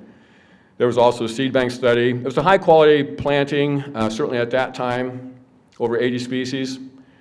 And so the, the real focus though in this is the effect of late spring fire. A question came up, well, can we use late spring fire as a way to really put the stress on cool season grasses without damaging the forbs? I think a lot of prairie managers were always kind of worried that if they burn too late in the spring, oh, we're going to hurt the prairie forbs. You know, we don't want to do that. So this study kind of was aimed at trying to address that question. We, we marked forbs and we measured their growth, their reproduction, their survival after we did two late uh, spring burns. We also wanted to try and see, well, was this worth it? Did we get extra good effect on non-native species, especially smooth brome? So that, that was the idea. We marked um, 195 individuals of 21 different species of forbs. You see some of the names right here and, and pictures of, of, three of them. And we monitored their survival after doing two late spring burns, one in 1998 and one in 1999. These were burns about, about May 10th. And here's the results. These all show the results regarding survival. And that equal sign in there says that there's equal survival between the burn plots and the control plots. No mortality occurred on any of our prairie forbs um, compared to the control, even though, again, we burned them uh, May, May 10. No matter what time of the study we looked at this, um, after one burn or after two, two burns, and uh, one month in or two years in. Uh, the next group of data show reproduction, and it shows the number of genets in flower, the percentage genets and the percentage ramets in flower. You can see here that there was an effect of the late spring burn. Three of those four analyses there show that the burn plot had less flowering going on than the control plot. So yes, you can expect a late burn to cause some stress to that prairie plant. Uh, it's not going to kill it, according to our survival data, um, data, but it might mean that there's less flowering going on, that, that, at least that first year. The last set of data here show the percentage of herbivory, and there was some evidence that the burn plots had experienced more her, herbivory. Uh, probably rabbit, I think, is probably what was occurring there uh, in one of the three uh, years. What happened to smooth brome? I want to pay, have you pay attention to the comparison between the control and the spring fire plots. In the diagram on the left, you can see the amount of uh, ramet density in 1997 and 1998. 97 was before the burn, 98 is after the burn. And you can see in the control plot that uh, brome became more abundant. The, the density went up. But in the spring plot, it went down. In fact, it's the only uh, treatment of those four treatments where brome went down from 97 to 98. That's shown a little bit more clearly in the graph on the right, which basically takes that same data and expresses it in per capita growth. And a negative per capita growth there in the spring plot means exactly that, that the population ramets of um, smooth brome were going down. So we got great effect here. The late spring burn was very, very effective in taking out smooth brome It was also very effective in taking out this species, common wormwood. As you can see there, there were seven burn plots that had, or seven plants on burn plots and five plants on control plots that were marked. And at the beginning of the study and after um, the study in 2000, all of the plot, plants on the burn plots were dead and gone, and all of the plants on the control plots were still alive. Why is this important? Well, because common wormwood is not supposed to be there. It's a non-native that was accidentally introduced in the seed mix, either accidentally or either sort of intentionally as a uh, misidentification for prairie sage. But we wanted to get rid of it. It, it was not supposed to be there, so a fire took it out. Uh, grazing quickly, some grazing work. Um, uh, this is something I talked about yesterday, so I'll just kind of brush over this. This is um, the goat browsing study at, at, at Chautauqua. We wanted to see how goats would work in restoring savanna. I'm combining that with uh, some cattle grazing work at Chautauqua as well, uh, right to the south of the goat, goat browsing work. And uh, what we're trying to do here, of course, with the goat is do savanna restoration, uh, what we had there was uh, a mess, and what we wanted, of course, is a nice looking savanna. Uh, we had uh, eight plots spread out through the area there. Some of them were um, control plots, some of them were cut, and some of them were cut and then followed up with browsing by goats for, for three years. We also did microclimate measurements on those goat browsing plots, and we measured um, air temperature and light and wind and soil temperatures. Here's the uh, goats hungrily eating the leaves off of uh, some buckthorns. You can see the leaves are stripped off of those little sprouts coming off the base of that tree there. They're very effective at removing leaves, continually removing those leaves. Um, here's a quick look at some pictures of some results of a this is after one season of, of uh, goat browsing on the control plot there. Of course, that's how everything looked at the very beginning.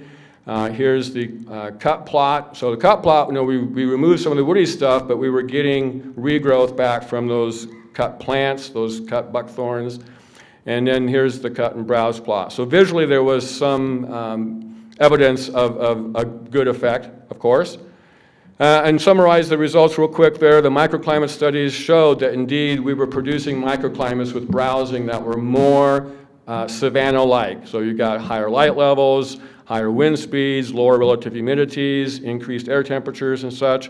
And vegetation-wise, again, I went over this yesterday, we did see great effects. We saw reduction due to browsing, again, of woody plants, increases in the herbaceous layer, and particularly increases in sedges and graminoids, which is what we wanted to see. So it, it, it, worked. The cattle project was aimed more at what kind of thing that Scott was talking about. Can grazing help to diversify the structure and biodiversity of a reconstructed prairie? Uh, a, a, prairie that doesn't have very much heterogeneity, heterogeneity in its structure looks like the prairie on the left. But grazing uh, could produce something that looks something more like on the right with more patchiness.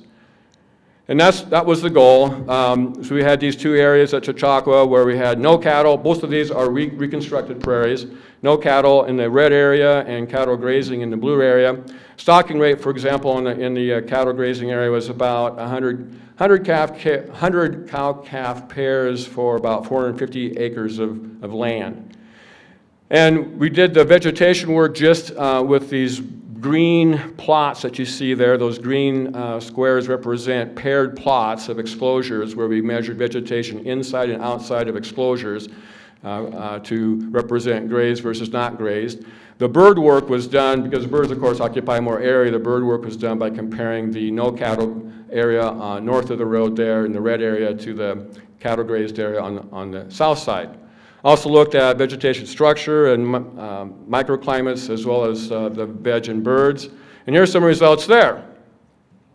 So we saw for birds uh, something that's, that Scott talked about. We did find uh, statistically increased numbers of grasshopper sparrows and meadowlarks on those grazed plots, and also just an increase in the total bird ri uh, richness.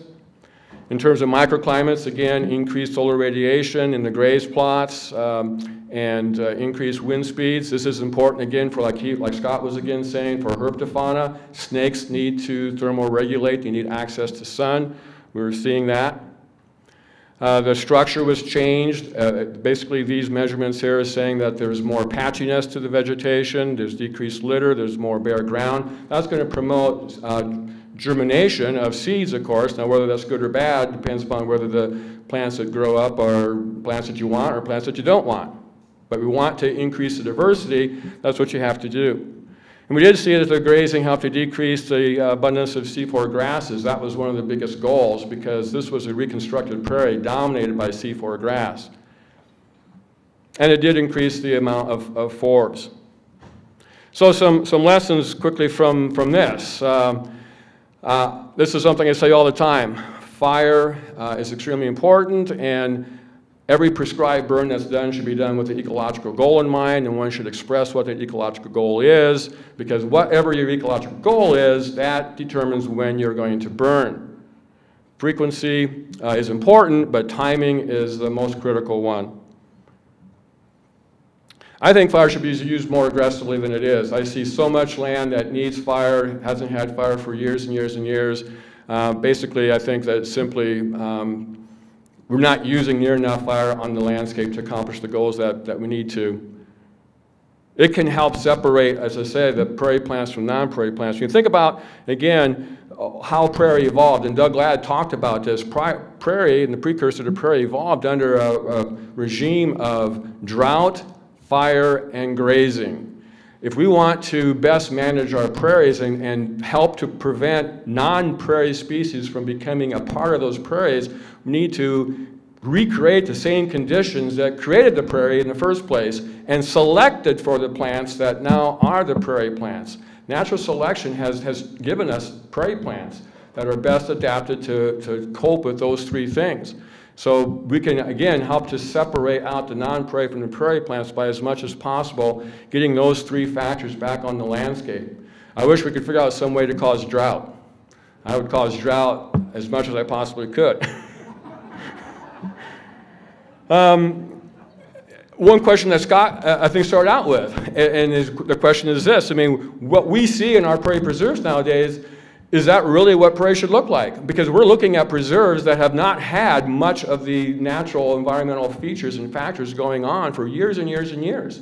So we may be thinking, oh, this is what prairie should look like, this is what we want to go for, but none of us here or any of our grandparents ever saw the real thing, you know, back in 1750. So uh, we're probably looking at something that doesn't really represent what we probably should be thinking about prairie being. Do we, do we know what it should look like? Is it important? Does it matter? I hope it does. In some cases, now Scott talked about resilience, and in many cases, if you have a good remnant, you, can, you still have that resilience there, and that can be very good. You can bring back these systems.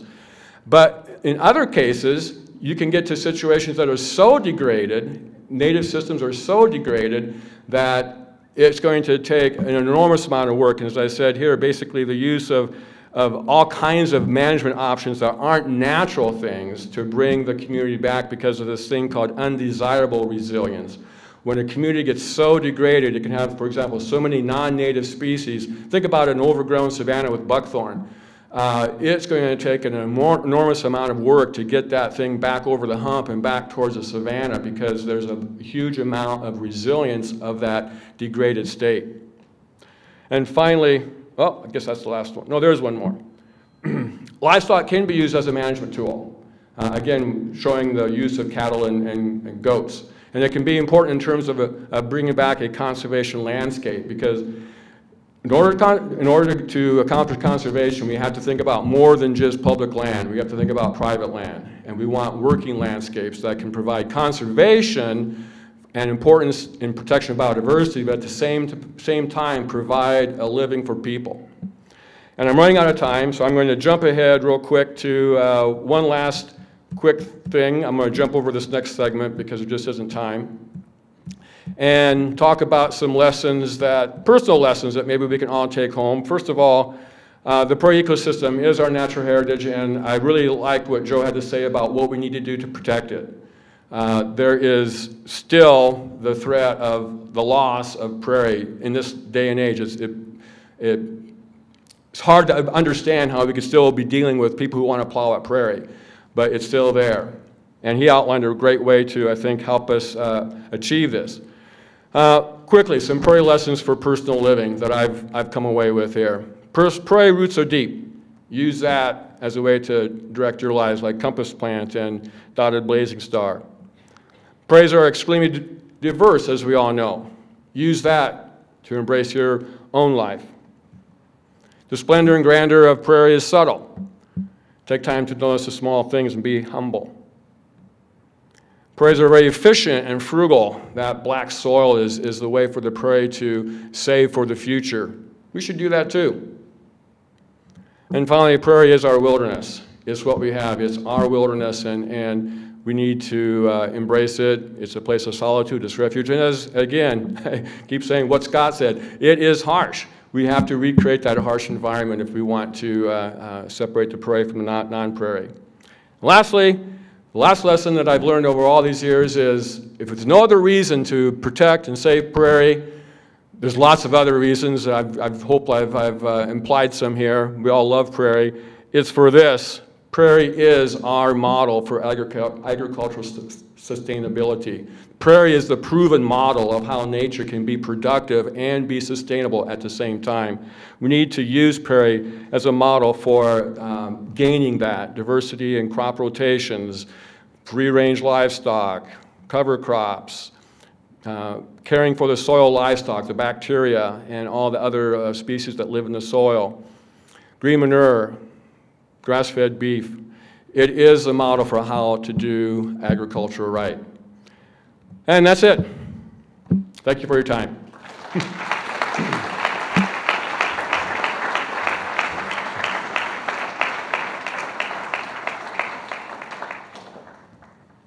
Thank you, Tom. There you go. And thank you for the great transition to my talk.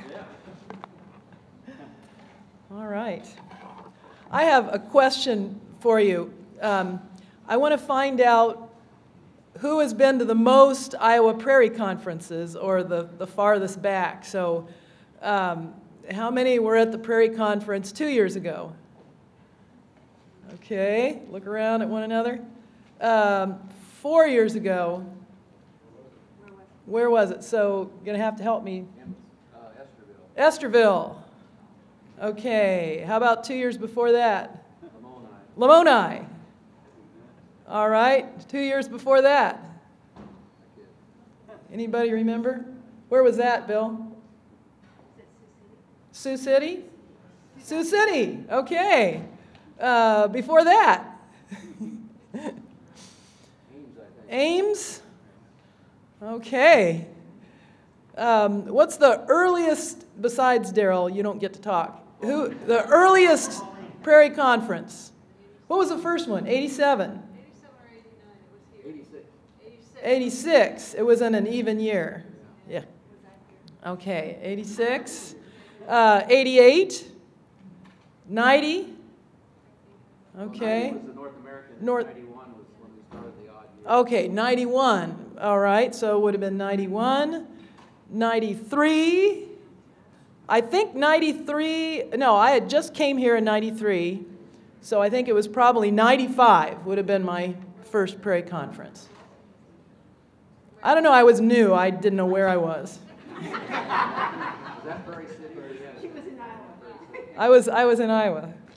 Well, uh, the point being that this Prairie Conference, wherever it is held, is a testament to the power and importance of community, uh, of our community. And um, it has been knit together by our common love for the diversity of, of, of the prairie, um, the beauty of it, there, um, the flowers, the insects, the animals, the processes, the fire, um, for the rarity, for the vulnerability, it, just exquisite vulnerability uh, of, this, of this beautiful place. And the talks in this symposium, as uh, our, our new provost, um, uh, Provost Wohlpart, described to us in welcome remar welcoming remarks yesterday, this, um, this process of coming together and talking about this is really a way of uh, creating meaning and creating um, a ritual of belonging and of, of, of a common understanding of, of who we are and what we're all about. So these communities are formed in part by creating boundaries, creating uh, a sense of, well, this is who we are. This is what, this is what we're about. Uh, at my first Prairie Conference, which I was starting to work with uh, Practical Farmers of Iowa on a project to add native prairie species to rotationally grazed pasture. I was working with some far-sighted farmers Um, um, I was working with Tom Frantzen near Alta Vista, Dan Specht in Clayton County, and uh, Mike Natvig, a, a farmer in uh, Howard County. And we had developed a kind of a running joke about our purpose of, of putting prairie back onto rotationally grazed pastures and then selling the cattle. And I was telling this story at the Prairie Conference that ultimately, our ultimate, we would, knew we would be successful when these farmers could make extra money selling orchid fed beef. I did not get any laughs in 1995 when I said that. And for some strange, I'm sure it was a coincidence, but I didn't get invited back for quite a while. okay, so we create some boundaries about what we're willing to accept or be comfortable with and what we're not. That's part of what makes us a community. But we need to look at some of these boundaries as permeable and uh, in a way that creates, uh, it creates opportunities and creates creativity. And so let's look at some of these people in the history of prairie restoration and preservation and management who have seen things a little differently and maybe not seen this, uh, this definition of prairie in quite the same way or maybe in a little bit more, uh, uh, little more subtle way than, than, we, than we tend to. I just wrote this talk. I have no longer no idea how long it takes or even how I will conclude it. So we're all in this together, but I will end on time. Ada Hayden, she grew up on a farm. Um, she was tasked with finding prairies in the state, and I am, I am led to believe, and please correct me if I'm wrong, that, that her mentors, uh, Pammel and, and, and Shimek, had the attitude that prairie, the prairies really were gone, uh, that the real prairie, the prairie that involved vast, vast spaces and and bison and Native Americans was gone and that there really wasn't much hope for that. But she saw that the roadsides, the cemeteries, the hayfields were still prairie. Those remnants mattered, and the prairie was still in that landscape in a significant and important way. And that it was that ability to recognize that, yes, the big prairie was gone, but the prairie kept going in, in these little spaces. That that was a key insight of, of really our first conservation biologist in the state. Another visionary in this area was, of course, Aldo Leopold, who in his essay Odyssey describes the path of two atoms. He didn't name them, they were X and Y, but it could have been a nitrogen atom and a phosphorus or, or a phosphorus atom. It was kind of a blend of both that were cycling through the rock and the soil and the roots and the bison and the Native American and ended up back in, in the soil for a brief period of time and then cycled back into the pioneers' wheat and uh, run off the, the landscape and soil erosion and, and ended up in the, the, the um, sediments uh, of a river somewhere. And in that, um, does that ring a bell to some of you, that essay, Odyssey? It, it, it's, a, it's a marvelous example of teaching uh, an ecosystem process by putting yourself in the shoes of that atom or that molecule. It's an it's a excellent way to do it, much better than those cycle diagrams they show you in high school. And, and in that, he describes the black and white spotted buffalo moving back and forth from the pasture to the barn. Uh, so he didn't see, he saw the parallels between the ruminants of the agriculture of the time, uh, raised mainly on grass, as not so different from the bison that were, uh, were doing those same processes, those same things, um, just a, a, few decades earlier. And so uh, we, we see that in, in the, um, the, the talk that Scott Moats gave about using bison to manage vegetation and the parallels with, with cattle and the fact that when we took away the cattle, we really didn't know what we were doing um, when, we, when we took away the cattle in the name of, in the name of conservation. So we have these boundary, boundary crossers in, in our history who help us to open up our ideas of what the prairie really, really means. Uh, in my own history, I grew up in Kansas uh, with prairie in my backyard, as well as wheat fields and sorghum fields. And my father, Wes Jackson, was um, thinking uh, about prairie and about agriculture from as far back as I can remember. Um, I also had to learn meiosis and mitosis at age seven, so don't think it was all great. But um, in, in 1977, a lot of enthusiasm, let's just put it that way, that was going to be imposed on you whether you liked it or not. Um, but I did like it, and I love the plants uh, from as far back as I can remember. And we were, we were um, you know, uh, stomping on the brake and swerving to look at native plants in the roadsides when I was a small child. And so, yes, I can, in fact, even though I'm only 73, I can uh, report that I have been uh, working with prairie for over 40 years. So. So either I'm a lot, uh, a lot uh, younger than I, I look a lot younger than I am, or I really have been working on it since, certainly since eighth grade. Uh, my first research project, digging up prairie uh, roots to try to see if they were doing extra nodular uh, nitrogen fixation. So that was, that was 1974. um, New Roots for Agriculture was a book that came out in 1981 that my father wrote that said we need to look at prairie as a model for agriculture. And that meant trying to develop crops. Uh, the first crops that had ever been, you know, the last crop that was domesticated besides the blueberry, blueberry happened about 5,000 years ago. All of our grain crops are annuals. They're, all of our grain crops are annuals. And, and what he said in that book is that we need to devise an agricultural system that mimics the structure of the prairie, uh, not necessarily in species, but in functions. So mixtures of perennials. He had a talk that he used to give that was called, um, uh, oh, it was such a long title, it was funny. Um, anyway, I'll, I'll skip that. So New Roots for Agriculture came out with the idea of nature as a measure for our agricultural systems. And just a few years before that, Wendell Berry, a poet and, uh, and a novelist, um, uh, really a person steeped in, in the fine arts, uh, wrote um, an amazing book called The Unsettling of America Culture and Agriculture.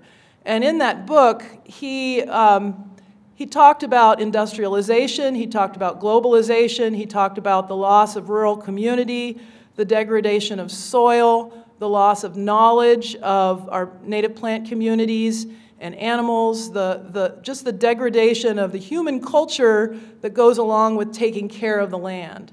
And this was a really prophetic book that uh, clearly crossed a boundary because what is, is a poet? Uh, and someone steeped in the fine arts doing, talking about something as, as uh, mundane as agriculture.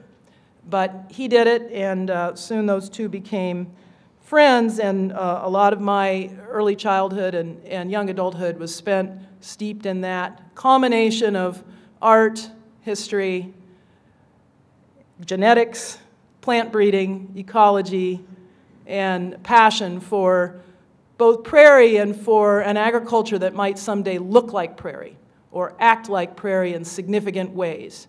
And um, unlike most normal people, I did not rebel enough as, as, as a kid as I should have, and I took up that same, same mission.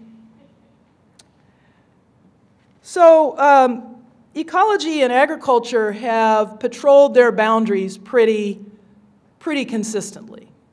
And when I was in graduate school at Cornell University, I was discouraged from studying applied aspects of ecology. This was just not done, not at Cornell anywhere any, anyway. If you want to do that, go into forestry, go into wildlife management. Of course, we know that those are not as high status as, as an ecology degree, so uh, you know, it's your own, it's your own uh, future, was what I was told. So I, I, I had a split personality. I, I was in the ecology department, but I chose to minor in agronomy. I took a lot of agronomy classes, hung out with agronomy grad students, and kept trying to find where this fence line might be broached. Where can we, where can we punch through? Where can the sciences um, see that really there, there may be different disciplines, but there's just one Earth and there's just one, uh, one ecosystem. Uh, it's just a matter of, of what kind of lens you look at it through. The discipline of conservation biology started with, uh, uh, in a very real way, with the beginning of the journal Conservation Biology in 1985. It was controversial because it did cross boundaries, and it did make people think about, well, how can we use ecology to do something? Um, the journal Ecological Applications began in 1991, still very early, and Restoration Ecology in 1993. So the notion of, of, uh, of ecology applying itself to restoration and to, uh, to conservation was uh, emerging. Not to say that those ideas didn't exist before, because of course there's really no new ideas, but um, it, they were being expressed in a new way. But there was something missing. For me, there was really something missing. And part of it had to do with being a Midwesterner, person from the Great Plains, that was back east for seven years in the heart of the Ivy League. Um, I had a chip on my shoulder. Um, the Midwest was invisible, and the, uh, it was flyover country. It was a place that people really dismissed. There were no mountains, there were no wilderness areas, there were no areas that they knew of of any particular interest. And um, having lived on the West Coast as a child and the East Coast and in the middle, I knew that they were missing something. They were missing something big. And what I saw was that um, the whole topic of agriculture and the Midwestern U.S. was treated as basically a sacrifice area. What do we really need Iowa and Kansas for anyway? Really, you know? So, despite these real um, advances in applied ecology and conservation biology, restoration ecology, um, there was still a big blind spot, and that blind spot was right here in, in Iowa, in, in these places with such um, unbelievable dominance of, uh, of agriculture. How are we going to solve that? Forget the rainforests, that'll, that'll get solved one way or another, but what about here? What about where there's all this food being produced. How are we going to save biodiversity and have ecological integrity right here? And this place does matter. So how do we, you know, how do we cross that boundary? Um, what we're seeing today is that we have nitrates in the drinking water in more and more towns. Um, we have nitrates in the Raccoon and the, uh, the Raccoon River and rivers that, that serve um, the, the city of Des Moines, 500,000 people. We have a dead zone that has persisted in the Gulf of Mexico since the first it was discovered in 1985. Back then in 1985, we thought, ah, this is going to do it. Now everybody knows it's a problem. We're going to fix it now because, you know, we just can't, we just can't tolerate a dead zone in the Gulf of Mexico. Well, I'm, I'm looking at my watch and we haven't fixed it yet.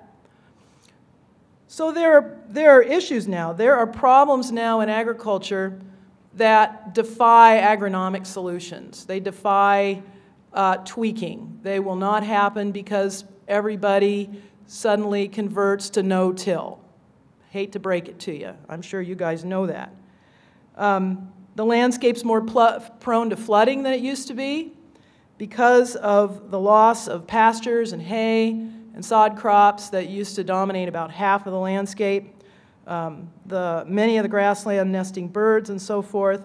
Climate change is going to only make things a lot more interesting around here. And um, uh, soil degradation as well. So um, we need ecology and we need the prairie specifically. We need the model of the prairie to help guide us through what could be a pretty tricky next 40 years. And so here we are as a community that has, has um, a lot of integrity and a lot of bonds that come from this long history together and our experiences out in the field with the same things. Can we cross some boundaries and help out our friends over in agriculture and our friends and neighbors in the agricultural economic complex that is uh, that runs the state of Iowa? yes, we can. Um, we can look at our, uh, at our history at, at UNI and the Tallgrass Prairie Center. Um, Daryl Smith's been crossing boundaries for many years. The, um, uh, we don't normally think about roadsides as a place to do prairie restoration, but uh, back in 1987, 88, here was a cultural problem, an engineering problem, and um, it was re-envisioned as a, something that prairie could solve. So uh, this was a great example of crossing that boundary from the pristine prairie to a useful working prairie that we could, uh, we could sell to the state of Iowa, and the result is this wonderful roadside program that we have. The Ecotype, um, the Ecotype project that's had so much success in building genetic diversity into the commercial seed business in the state. It's really the envy of other regions. And this was not always uh, extremely popular among the, the, the, prairie community. You know, we all know that collecting directly from remnants and planting, uh, planting that seed is going to protect and preserve the most genetic biodiversity, but it's also very limited in terms of how much acreage you can plant using hand-collected seed. That's a very boutique activity in most cases. It, it's very, very appropriate next to state preserves, but if we're going to plant a lot of prairie on roadsides all over the state, we're going to need a compromise. And so that was a compromise from the purity of hand-collected remnant seed to something that was practical and yet saved a lot of genetic diversity. And I'm really proud of all the alleles that are out there uh, in road ditches and in, in uh, prairie restorations that are a result of the, the work of the Tallgrass Prairie Center. And more recently, uh, the Prairie Biomass Energy Project that tried to figure out, well, can we plant a diverse prairie mix? Uh, will it do as well as a switchgrass mix in terms of, of, uh, of total biomass production? Can we get away with that and still have our birds, still have our butterflies, still have some of the diversity of, of a remnant prairie? So those are all ways that we, uh, that the, the history of the Tallgrass Prairie Center at UNI has built bridges from the, the, uh, the need for preserving and taking care of remnant prairies to putting more prairie out there in the landscape uh, however we can do it, however, however it can be done. So uh, let's see, I have two props. This, uh, this is my um, this is my Society for Ecological Restoration hat, which I wear on some field trips. And um, if you don't know, Society for Ecological Restoration is an international organization. Um, and uh, there is now an Iowa chapter. Uh, sorry, a Midwest chapter that Iowa is now a part of. So the Midwest Great Lakes chapter is, uh, it's got over 200 people in it now, most of them from the Great Lakes region. But Iowa became a chapter just this spring, and I would urge you all to take a look at it as, a, as an organization to belong to. They have kick-ass uh, conferences with people that you have a lot in common with, and yet you'll also learn something from them because they're working in a little bit different part of the region. So there's, there's, my, there's my Society for Ecological Restoration hat. But the other, the other um, organization that has claimed part of my frontal lobe uh, over the last 20 years has been Practical Farmers of Iowa. PFI is composed of a growing number of farmers who are trying to increase sustainability on their farms. They're doing research, they're doing field days, demonstration sites, uh, and, and they range the gamut from, from your 60 acres uh, and, a, and a horse and, and some organic vegetable production uh, to cash grain corn and soybean farmers. So they really, they do really run the gamut. There aren't very many people who have both of these hats. Um, and I'd like for there to be more of them because sustainable agriculture is a kind of ecological restoration. It is bringing uh, uh, bringing the, the culture and the knowledge of the biology and the, of this ecosystem back into agriculture. And so uh, I really advocate for you checking out this organization. They, a lot of them have prairie on their farms or are trying to put prairie on their farms for pollinators, for monarch habitat, for cattle grazing, and so forth. So I'll just conclude with this last little bit about something we're starting at the Tallgrass Prairie Center. I should have mentioned at the beginning, you might, you, the word that might come to mind in following up with all these wonderful speakers and, and uh, trying to fill the very large shoes of Daryl Smith as the new director of the Tallgrass Prairie Center, the term that might come to mind is unenviable. it's, it's a big role. It's a big role. And, uh, uh, but I'm very excited about it. And one of the things that we are trying to do right now is to work with farmers to help uh, Iowa State with their Prairie Strips project. Iowa State's great. They've done some wonderful work, but they don't know anything about prairie restoration. Doesn't leave this room, okay? No, uh, of course, they're, they're, they're, they're, uh, we have to really respect them and really appreciate what they've done to publicize this and get people excited about planting 10% of their sloping fields into contour strips on the prairie, uh, on the, sorry, uh, in their corn and soybean fields. And uh, this has enormous opportunity, especially if it's done well. We all know that prairies that are restored poorly can turn into weedy messes that nobody wants to mess with again, and that's not a good reputation for, uh, for prairie strips.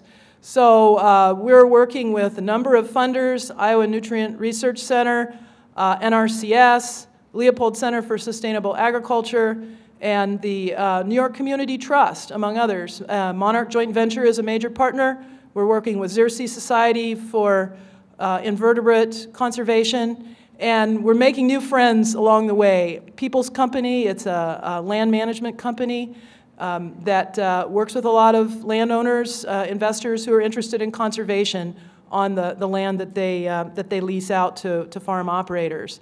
And so we're, we're beginning to make new inroads and make new friends, uh, learn a little bit about what it takes to put prairie on farms in these contour strips and other contexts.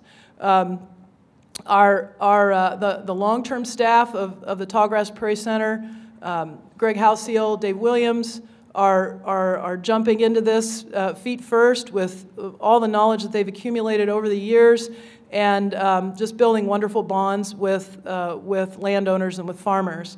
And we think that because of the convergence of the urgent need for nutrient reduction, uh, for, for keeping the nitrogen and phosphorus on the fields instead of in the water, that, that the, the new sense of urgency that's been developed politically over that issue, as well as a critical need for restoration of, of monarch and pollinator habitat in the landscape, we think that this new effort, this new initiative, will help to um, uh, help to give us new opportunities to to cross the fence line, um, go through that barbed wire, and um, find ways to put even more prairie back on the Iowa landscape.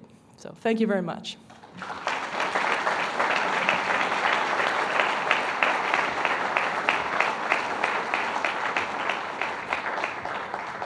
Thank you, Laura. Just a couple of quick uh, housekeeping items before we uh, break for lunch. Just a reminder that the barbecue tonight is, it's in the McLeod Center this year.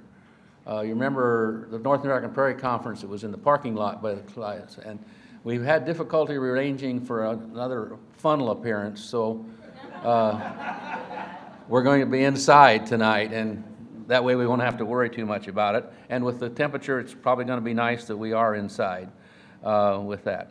Uh, One other thing I should say, uh, very likely, the Iowa Prairie Conference will be in the Council Bluffs area in 2017.